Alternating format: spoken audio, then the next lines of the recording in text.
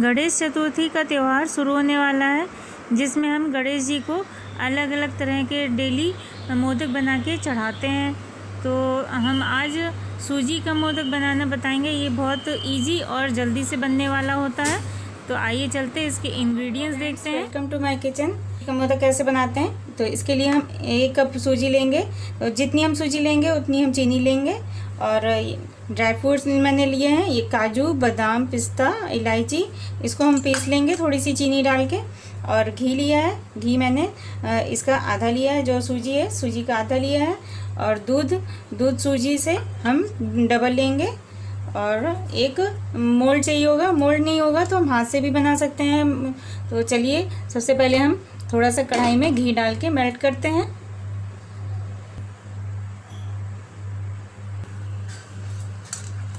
कढ़ाई गर्म हो गई है थोड़े सा अब घी डाल लेंगे।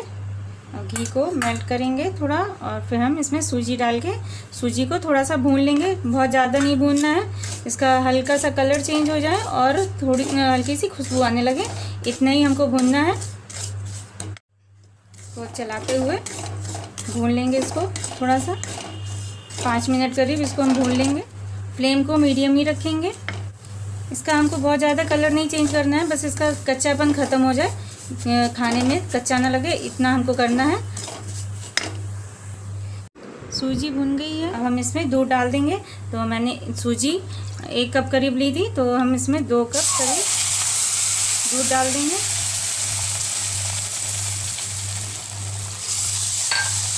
और चीनी डाल देंगे। चीनी की जगह आप कंडेंस मिल्क भी ले सकते हैं।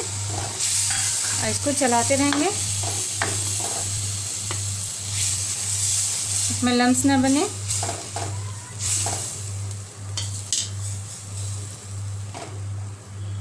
फ्लेम को अब थोड़ा तेज़ कर लेंगे।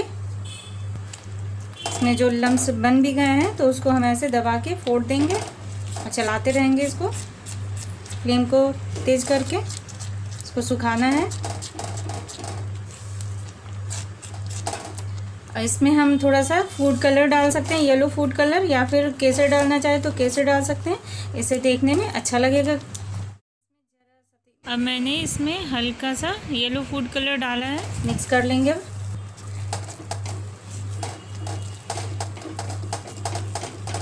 इससे देखिए कलर डालने से देखने में थोड़ा अच्छा लगने लगा है।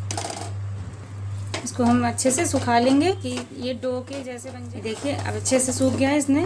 कढ़ाई को छोड़ दिया है। ये देखिए और इसको हम प्लेट में निकाल के ठंडा कर लेंगे। देखिए मैंने प्लेट में निकाल लिया है। अब हम इसमें जो ड्राई फ्रूट लिए हमने तो इसमें हम थोड़ी सी चीनी मिला के इसको ग्राइंड कर लेंगे मिक्सी में। और इलायची इसमें छील के डाल देंगे। देखिए इसको मैंने ग्राइंड कर लिया इसको हम अब कटोरी में निकाल लेंगे। और थोड़ा सा ये डो हम जो है इसमें बाइंडिंग के लिए डाल के मिला लेंगे इसको। ड्राई फ्रूट आप काट के डालना चाहें तो काट के भी डाल सकते हैं। मैंने मिक्सी में थोड़ा सा पीस लिया है। ये मिक्स हो गया है। अब हम इसका मोदक बनाएँगे। तो मोदक बनाने के लिए पहले हम मोदक मोल्ड लेंगे। इसका पिन निकाल के इस थोड़ा सा इसको ये जब ठंडा हो गया इसको अच्छे से गूँथ लेंगे। ऐसा कर, ऐसा करके और फिर इसमें हम मोल्ड में घी लगा देंगे। खोल के इसको घी से ग्रीस कर देंगे।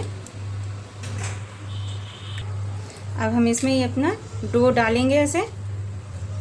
और इसको प्रेस करके ऐसे कस के दबा दबा के इधर उधर चारों तरफ़ इसमें सेट कर देंगे, जिससे इसका इम्प्रेशन जो है मोदक मोल्ड का आ जाए इसमें। और फिर हम इसमें जो हमने ये स्टफिंग बनाई है। ये इसमें डाल देंगे। और ऊपर से फिर से हम इसको ऐसे डो से बंद कर देंगे। फिर आराम से हम सांचे को खोलेंगे। ये देखिए, और इसको आराम से ऐसे निकालेंगे ये देखिए कितने अच्छे मोदक बने हैं। इसी तरह से हम सारे बना लेंगे। इसको पहले बंद करेंगे। फिर इसमें ऐसे इसको दबा के ये नीचे तक पहुँच जाए। और जो अगर यहाँ से एक्स्ट्रा निकलता है, इसको हटा देंगे। इसको ऐसे दबा दबा के चारों तरफ़ प्रेस कर देंगे।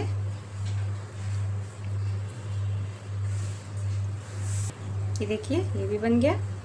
अगर हमारे पास सांचा नहीं है तो हम इसको ऐसे लेंगे और इसको गोल करके और थोड़ा सा इसके अंदर स्टफिंग भर देंगे, ऐसे, और फिर इसको ऐसे इसी का मोदक का सेप दे के और फिर हम किसी चम्मच के चम्मच से या चाकू से इसमें हम थोड़ा सा डिज़ाइन बना देंगे। ये इस तरह से बना के, फिर हम इस तरह से ऐसे डिज़ाइन बना देंगे। चारों तरफ़ ऐसे घुमा के इस तरह से भी मोदक हमारा बिना सांचे का बन जाएगा। तो देखिए कितना अच्छा बना है। दोनों देखिए। तो इसी तरह से हम सारे मोदक बना लेंगे। तो देखिए, ये सारे मोदक बनकर तैयार हैं। और ये जो सांचे सांचे से बनाए थे और ये हाथ से बनाया था देखिए सारे बनकर तैयार हैं। आपको ये मेरी रेसिपी मोदक की कैसी लगी, आप कमेंट करके बताइएगा। और मेरे वीडियो को लाइक कीजिएगा। और चैनल को सब्सक्राइब करना मत भूलिएगा और बेल बटन को दबा दी, दबाइएगा ताकि मेरी लेटेस्ट वीडियो आप तक सबसे पहले पहुँच जाए। Thank you for watching video